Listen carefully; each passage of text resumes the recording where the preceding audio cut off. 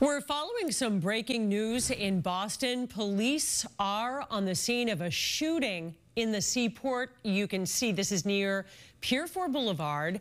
And from Sky Eye, there is a major police presence. We're monitoring the situation. We don't know the condition of the victim or if police are searching for any suspects right now.